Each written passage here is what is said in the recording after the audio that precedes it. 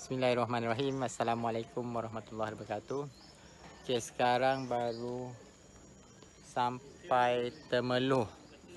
Selera Patin Bangau. Kita berhenti makan dulu. Alright. So kita sambung, kita akan sambung kayuhan ke Gambang. Okey, sekarang lebih kurang dah dekat 100 110 km. Yeah. Insyaallah. Alhamdulillah.